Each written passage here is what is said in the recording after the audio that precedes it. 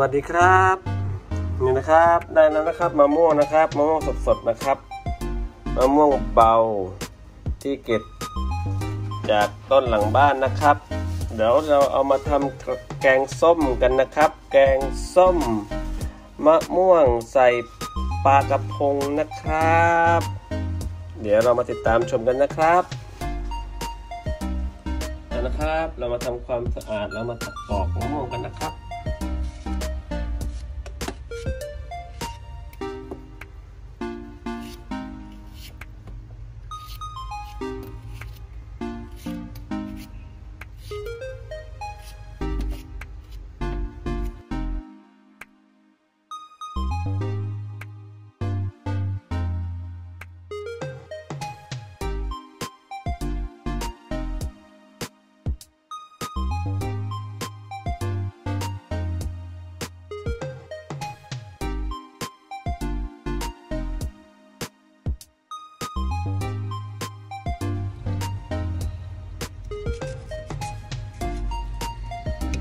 นี่เราเอามาทำกินน้ำปลาหวานก็ได้นะครับ แต่วันนี้เราจะเอามาทำแกงนะครับ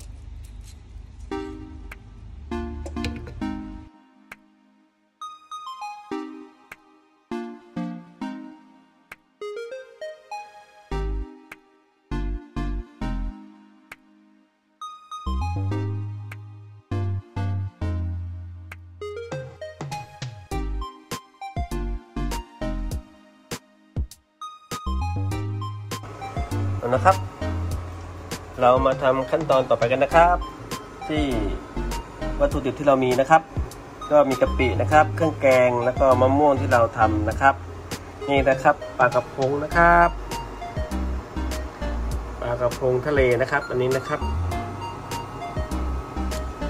นะครับเครื่องปรุงมีไม่มากนะครับ แล้วก็เกลือครับ เรามาทำขั้นตอนต่อไปกันเลยนะครับ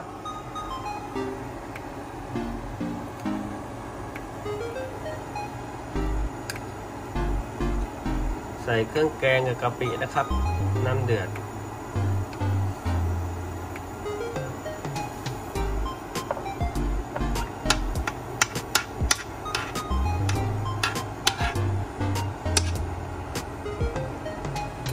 นะครับ ใส่เครื่องแกงกับกะปิ แล้วก็ใส่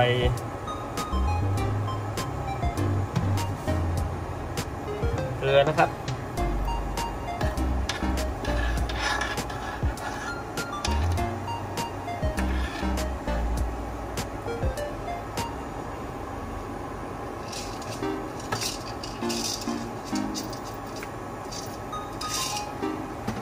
ก็ตามด้วยน้ำตาลนะครับ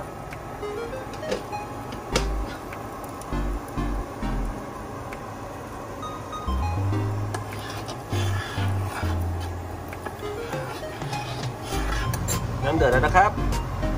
แล้วเราก็มาใส่ปลานะครับ ปลากระพงชิ้นใหญ่ ๆกระพงอันนี้กระพงขาวทะเลนะครับ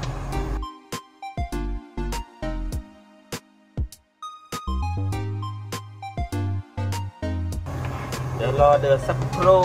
แล้วมาดูขั้นตอนต่อไปนะครับ เดือดแล้วนะครับปลาก็สุกแล้ว ตอนนี้เราก็มะม่วงครับ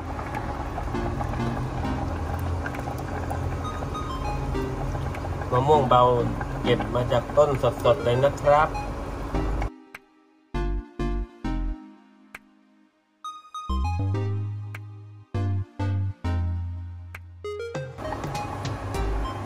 เพื่อนๆเคยทำกินหรือเปล่าครับ ถ้ายังไงคอมเมนต์มาบอกกันได้นะครับ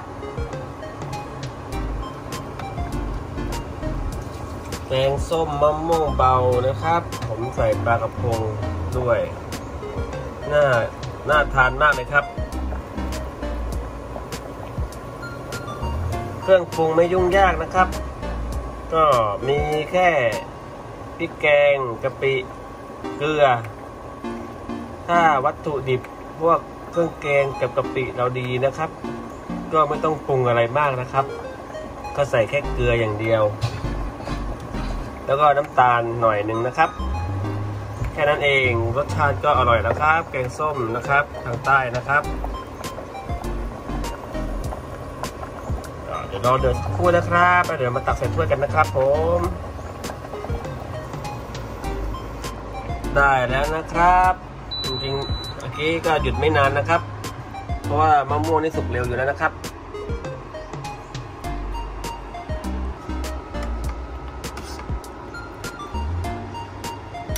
เออนะครับ